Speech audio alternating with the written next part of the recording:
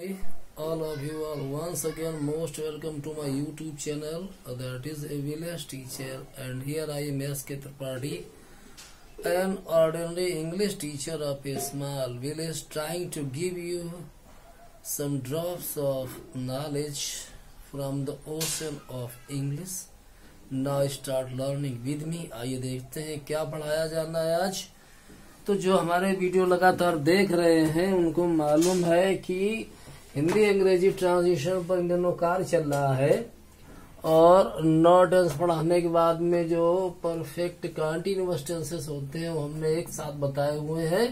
Perfect continuous tense पर ये तीसरा वीडियो हमने बनाकर अपलोड किया हुआ है। तो आइए समझते हैं। पिछले वीडियो आप देखिए, उसमें फंडामेंटल चीज़ें बताई हुई हैं। यहाँ कुछ और नए सिरे से कुछ, कुछ खास इंटरेस्टिंग और ज्ञानवर्धक बनाते हुए मैंने वीडियो बनाया है। आप इसका आनंद भी लें और इससे अपना ज्ञान भी बढ़ाएँ। तो पहले तो हमने डिफिनीशन लिख दी है प्रेजेंट परफेक्ट कॉन्टिन्यूस कि इसको हिंदी में पूर्ण अपूर्ण वर्तमान काल कह सकते हैं। पूर्ण क्या है? वो परफेक्ट अपूर्ण क्या वो कॉन्टिन्यूस इसमें काम जारी है अभी। खत्म नहीं हुआ इसलिए अपूर्ण है वो। तो परफेक्ट कॉन्टिन्यूस का मतलब पूर्ण, अपूर्ण है। और वो प्रेजेंट टेंस है, इसलिए वर्तमान काल है। अब जानते हैं कि प्रेजेंट में है, निकलता है तो है उसमें। कॉन्टिन्यूस में रहा निकलता है तो है। और पूर्ण क्या, उसमें समय जोड़ दिया गया है तो वो प्लस टाइम कर दिया गया है, इसलिए परफेक्ट हो गया है। प्रेजेंट परफेक्ट कॉन्टिन्यूस बन गया साइक्रिया हैज़ बीन और हैव बीन है। मैंने बताया हुआ है कि थर्ड पर्सन क्वेश्चन में हैज़ बीन लगता है और बाकी सब में, यानी फ़र्स्ट पर्सन के जो करता है आई भी फ़र्स्ट पर्सन में एक बच्चन आई बहुवचन में भी इनमें हैव बीन और यू जो है, वो सेकेंड पर्सन में एक वचन भी है बहुवचन भी आप प्रैक्टिकल करके देखना, वहाँ हैव बीन और उसके अलावा बहुवचन बहुवचन कोई भी हो वी हो या दे हो थर्ड पर्सन में हो या कहीं भी बहुवचन हो, वहाँ जो है हैव बीन लगता है, ये।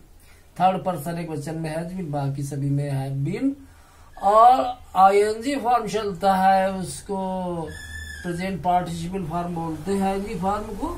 वो इसमें प्रयोग करते हैं। डेफिनेशन देखिए। The present perfect continuous also called present perfect progressive प्रगतिशील। उसमें कार्य जारी होता है।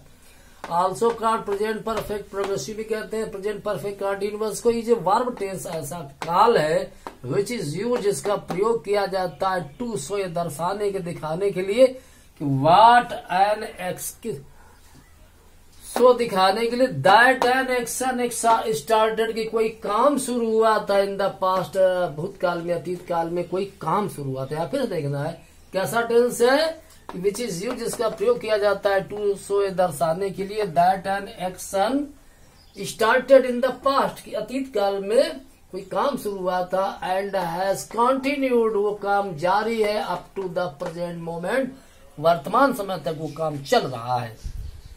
तो यही है present perfect the present perfect present perfect continuous tense the present perfect continuous usually emphasises प्राय ज़ोर देता है। The present perfect continuous tense usually emphasises प्राय ज़ोर देता है किस चीज़ पर? ड्यूरेशन समय अवधि पर। समय के बारे में वो, उसकी विशेषता होती है, वो ज़ोर देता है। और द अमाउंट ऑफ़ टाइम समय की मात्रा पर that an action has been taking place जो उस काम को करने में लगता रहा है समय, उस पे वो ज़ोर देता है। तो आप समझिए, समय क्या लगता है? जैसे बोला गया कि आपको सामने कोई दिख रहा है कि कोई खाना खा रहा है, या कुछ भी खा रहा तो आपने कह दिया वो खाना खा रहा है, सामने दिखाई दे रहा। लेकिन पिछली ड्यूरेशन ऑफ़ टाइम हुआ कुछ भी नहीं है। लेकिन अगर बहुत दिनों से कोई खाना बासी खा रहा है, कुछ भी खा रहा है तो आपने बोला कि वह बासी खाना खाता रहा है, इसीलिए वो बीमार है। तो उसमें ड्यूरेशन है कि भले ही उसमें नहीं बोला गया कि वो बासी खाना कब से खा रहा है दो दिन से खा रहा है कि छह महीने से खा रहा है कि कई बरस से खा रहा है वह छुपा हुआ है। वो बासी खाना दो साल से खा रहा है इसीलिए वो बीमार हो गया आज। तो यह परफेक्ट कंटिन्यूस हो गया सामने दिखाई पड़ रहा है खा, खाना खा रहा है या बासी खाना कुछ भी खा रहा है वो। तो वो तो कंटिन्यूस कार जारी सामने दिखाई दे रहा है लेकिन जो परफेक्ट कंटिन्यूस होता है उसमें ड्यूरेशन ऑफ़ टाइम वो तो या सामने या तो वाक्य में लिखा होता है या वाक्य में छुपा होता है। लेकिन वह उसका भाव ज़रूर होता है ड्यूरेशन ऑफ़ टाइम टाइम का अमाउंट ऑफ़ टाइम का भाव होता है। चाहे वो लिख दिया जाए दो घंटे से, दो साल से, कई साल से, कुछ भी, सोमवार से, या या वहाँ छुपा हुआ हो। और लेकिन वो बनाए जाएँगे प्रेजेंट परफेक्ट कंटिन्यूस में ही। अगर वहाँ ड्यूरेशन ऑफ़ टाइम नहीं है, तब उनको नहीं बनाएँगे प्रेजेंट परफेक्ट कंटिन्यूस में। इस प्रकार से बहुत सारी चीज़ें यहाँ समझाई हुई हैं। कि जैसे जैसे मैं एक कहानी लिख रहा हूँ तो आप सामने देखिए मैं एक कहानी लिख रहा हूँ तो I am writing a story और अगर ये बोल दे कि मैं पिछले दो साल से कहानियाँ लिख रहा हूँ तो I have been writing stories for the last two years और ये कह दे कि मैं कहानी लिखता रहा हूँ। वहाँ, हमने समय ज़रूर नहीं जोड़ा, लेकिन समय वहाँ छुपा हुआ है कि मैं कहानियाँ लिखता रहा हूँ काफ़ी समय से लिखता रहा हूँ दो साल से लिखता रहा। हूँ तो I have been writing stories ये लिखना पड़ेगा, उसमें टाइम जुड़ा हो या ना जुड़ा हो, ये मैंने इसमें समझाया हुआ है। देखिए we can use present perfect continuous without a duration हम हम प्रेजेंट परफेक्ट कॉन्टिन्यूस को बिना समय, अवधि एक्सप्रेस किए भी लिख सकते हैं। Such as for two hour जैसे कि दो घंटे वगैरह जोड़ देते हैं वाक्यों में, हिंदी में, अंग्रेज़ी में for two hour, for two weeks since two o'clock ऐसे जोड़ते हैं। तो ना भी जोड़े तब भी लिखा जा सकता है। और विदाउट ड्यूरेशन बिना समय अवधि के the tense has a general meaning उसमें वाक्य में एक सामान्य अर्थ होता है काय का ऑफ़ लेटली हाल ही में, हाल ही में ऐसा होता रहा है। ऐसा रिसेंटली माने हाल में, ऐसा हुआ ऑफ़ लेट हाल में। हालिया समय में ऐसा होता रहा, ये भाव प्रकट होता है। तो we of often use the words lately प्राय हम ये वर्ड्स लेटली अथवा रिसेंटली भी प्रयोग कर लेते हैं। ये प्रेजेंट परफेक्ट में तो होते ही रहे, लेकिन प्रेजेंट परफेक्ट कॉन्टिन्यूस में भी हो जाते हैं। आप देखिए कैसे होंगे। पिछले टेंस अगर आपने दोहराए तो ये शब्द आपके लिए अनजाने नहीं होंगे। तो we often use words lately और रिसेंटली हम ये हाल में हाल, हा, हाल के समय में ये रिसेंटली लेटरली दोनों का वही अर्थ है। इनका प्रयोग कर लेते क्यों? टू इम्फेसाइज दिस मीनिंग इस अर्थ पे ज़ोर देने के लिए। क्या अर्थ? ये हाल में वो काम होता रहा है। ये अर्थ अगर ना भी लिखे लेटली सेटली फिर भी वहाँ बनेंगे। आइए यहाँ एग्ज़ाम्पल देखते हैं।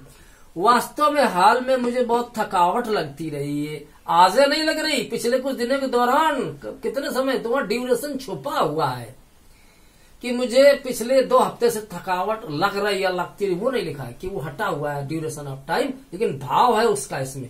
इसलिए प्रेजेंट परफेक्ट कंटिन्यूस बनेगा। तो वास्तव में हाल में मुझे बहुत थकावट लगती रही है। तो recently I have been feeling very tired वह, वास्तव में रियली अंग्रेज़ी गायब हो गई है। तो recently I have been feeling really very tired यहाँ रियली जोड़ सकते हैं। प्रेजेंट परफेक्ट कंटिन्यूस है वहाँ लेकिन सिंस फार का प्रयोग लगा करके टाइम को एक्सप्रेस नहीं किया लेकिन भाव वही छुपा हुआ है। तो ये विदाउट ड्यूरेशन ऑफ़ टाइम बिना सिंस फार लगाए भी वाक्य बनाए जा सकते हैं। मुझे यही सिखाना है और कुछ चीज़ें आगे बतानी है। क्या तुम हाल में व्यायाम करते रहे हो? तो ये आ, अभी सामने नहीं कर रहे जैसे व्यायाम कर रहा है इस टेकिंग एक्सरसाइज लेकिन नहीं वो बोल दिया जाए व्यायाम करता रहा है तो वहाँ वहाँ परफेक्ट कंटिन्यूस है। ऐसे भी है, क्या तुम हाल में व्यायाम करते रहे हो? Have you been exercising lately क्या तुम हाल में व्यायाम करते रहे हो?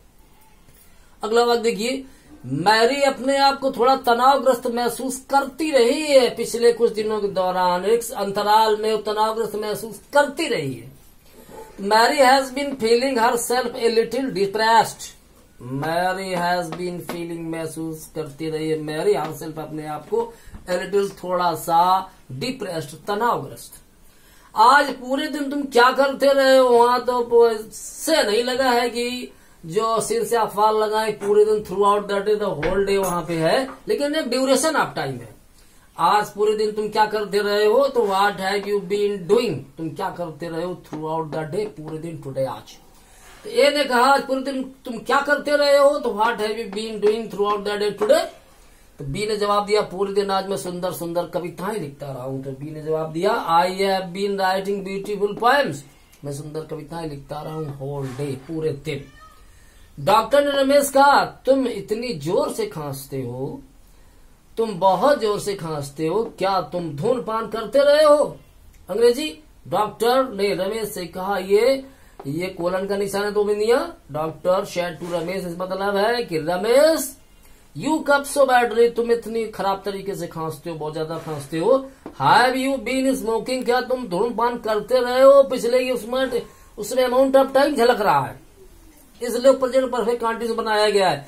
ये नहीं उसमें लिख दिया जाए सिंस इतने दिनों से धूमपान कर रहे हो इत, इत, इतने बजे से आज जनवरी से कर रहे हो या ऐसा कुछ नहीं लिखा है लेकिन फिर भी वो प्रेजेंट परफेक्ट कंटिन्यूस है ये दिखाना है।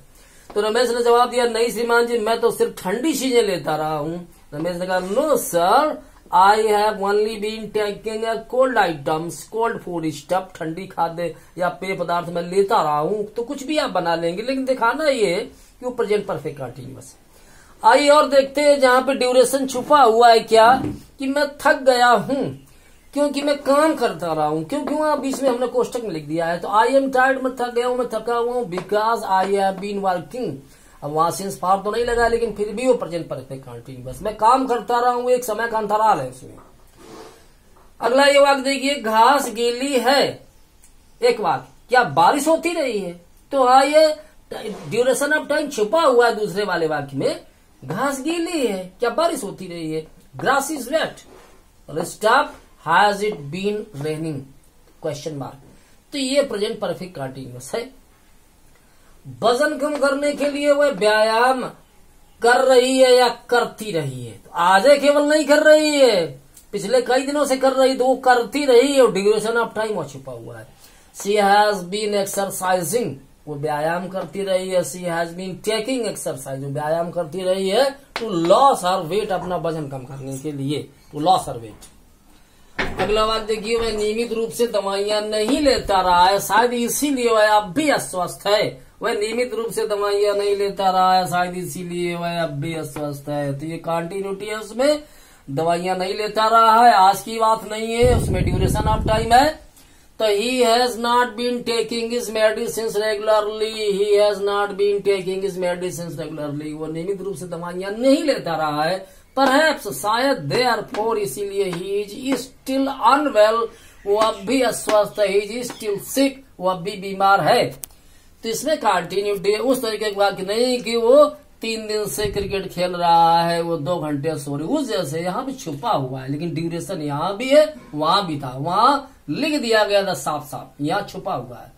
वे बहुत समय से यहाँ नहीं रह रहे, यहाँ थोड़ा इसमें बहुत समय से ड्यूरेशन लिख दिया गया वेरी फार वेरी लॉन्ग है वो तो they have not been living here वे यहाँ नहीं रह रहे हैं. फॉर वेरी लॉन्ग बहुत लंबे समय से वे यहाँ नहीं रह रहे हैं. तो इसमें तो फा लगा लिखा हुआ है, लेकिन बाकी बाकी जो आ रहे हैं, वो हट करके और ड्यूरेशन वहाँ हिंदी अंग्रेज़ी में एक्सप्रेस नहीं किया गया है.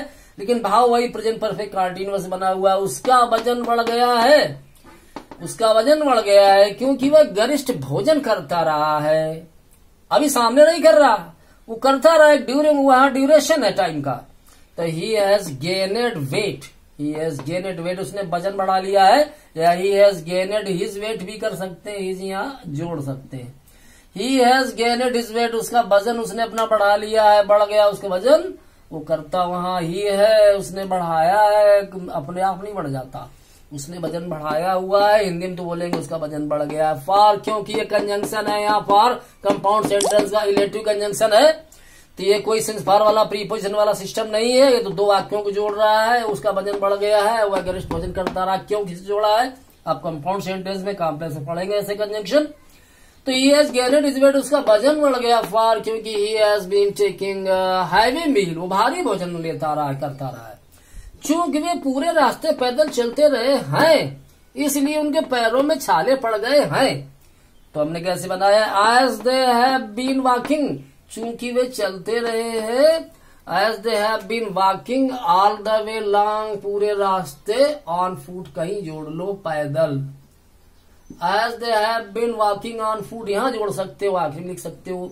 As they have been walking on foot क्योंकि वो पैदल चलते रहे हैं ऑल द वे लॉन्ग पूरे रास्ते, कामा से अर्थ इसलिए आश्रय देर फोर नहीं लिखेंगे अभी जानकारी कॉम्प्लेक्स प्राप्त करेंगे इस विषय में, कि एज कंजंक्शन क्या है, कामा क्यों नहीं लगता। यहाँ तो ट्रांसलेशन होना है परफेक्ट कंटिन्यू समझाना है। तो as they have been walking on foot all the way long क्योंकि वो पूरे रास्ते पैदल चलते रहे इसलिए they have got blisters on their feet उनके पैरों पर फफोले पड़ गए हैं, छाले पड़ गए ब्लिस्टर बने फफोला या चकत्ता होता है B L I S T E R वो मीनिंग समझिए। अब इसके बाद में मैंने लिख दिया आप कोर्स वास्तव में नॉट ऑल वर्क सारी क्रियाएँ नहीं आर कंपेटेबल अनुकूल होती हैं विद कॉन्टिन्यूस टेंसेस कॉन्टिन्यूस के वाक्यों के साथ। सारी क्रियाएँ मतलब हर कॉन्टिन्यूस में वो जो आईएनजी फॉर हर वाक, हर क्रिया को कॉन्टिन्यूस में प्रयोग नहीं किया जाता, कहने का मतलब ये। ऐसा मैं इंडेफिनिट और कॉन्टिन्यूस के दौरान बता चुका हूँ कि भले ही हिंदी कॉन्टिन्यूस में आ रही है, लेकिन उनको कॉन्टिन्यूस में लिखते नहीं है। ऐसे प्रेजेंट पर